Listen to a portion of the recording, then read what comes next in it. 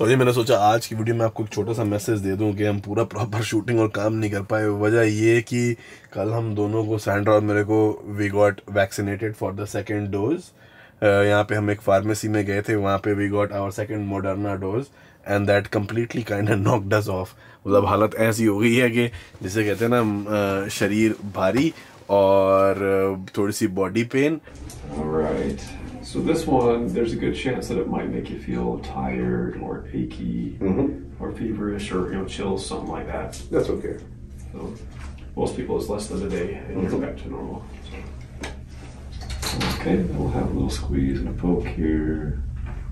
There's a little poke. Well, that was quick. Really quick and didn't feel a thing there. it will come in a couple of days maybe. Yeah, we'll make up for it later. और fever भी तो हम आए तो बहुत pretty शहर में हुए हैं and we would have love to show and showcase also but last two days I have not been able to shoot anything और ज़्यादातर जो पुरानी वीडियोस जो मैं थोड़ा सा एडवांस में शूट कर लेता हूँ वही जो बची थी the remaining videos that only we were able to do how are you feeling otherwise I am तो completely knocked out how about you I'm feeling a bit better now, but yesterday was just crazy for me. Body pain like I've never felt before. hmm. but mummy and was fever, okay fever also. Mummy was okay after the second Pfizer dose दूसरी dose के बाद आप okay थी नहीं नहीं She's stronger, no? नहीं अगले दिन तो मेरे को अ, दो एडविल जब लगवा के आई थी तब खाई थी। हाँ। दो एडविल रात को सोते टाइम खाई थी। हाँ। जब सुबह उठी थी तो फिर मैं ठीक थी।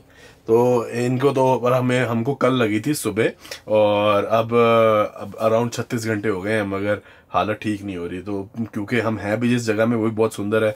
गाड़ी में घूम घूम के थोड़ी बहुत देखी है बट जल्दी आपको दिखाएँगे। बाकी सोने की सेटिंग अभी हमारी कुछ ऐसी है यहाँ पे जो सोफ़ा है इसको हम सोफ़ा का बेड में कन्वर्ट कर लेते हैं। एक मिनट इसके नीचे ना हमने स्पेशल एक खरीदा था लेयर बीस पच्चीस डॉलर की ये बिछा के चद्दर आ जाती है तो यहाँ सोने का बंदोबस्त हो जाता है। जनरली ऊपर बनता है और मेरा प्लान सोने का बट क्योंकि ऊपर सफोकेशन लग रही है, आजकल गर्मी ज़्यादा हो गई है तो इसीलिए यहाँ पे और मम्मी का तो अंदर बेडरूम में माता जी का सीन है ही है। बाकी जी मौसम भी काफ़ी चेंज हो गया कि कहाँ हम ठंड में थे, यहाँ पे आके बत्तीस डिग्री हो गया एकदम से, उसका भी थोड़ा सर्द गर्म हो गया। और अभी ये वीडियो भी मैं हमारी कोशिश ये थी कि आपको पूरा नाइट रूटीन वगैरह दिखा दें कि कैसे हम सेटअप करते हैं क्या क्या हिसाब किताब होता है बट वो भी करने की भी हिम्मत नहीं बन पा रही। ऑनेस्टली कैमरा भी जो है ना, पकड़ने में थोड़ी सी दिक्कत है। तो थोड़ा रेस्ट करके फिर एक दो दिन शरीर से ही हो जाएगा, तभी काम बढ़िया नज़र निकल के आता है एडिटिंग वगैरह और मन से करूँ तो। बाकी वीडियो ठीक ठाक लगी हो, ये तो खैर अब क्या ही बोलूँ लाइक और शेयर और सब्सक्राइब अब आपको पता ही है। बाकी thank you so much for watching and listening to this update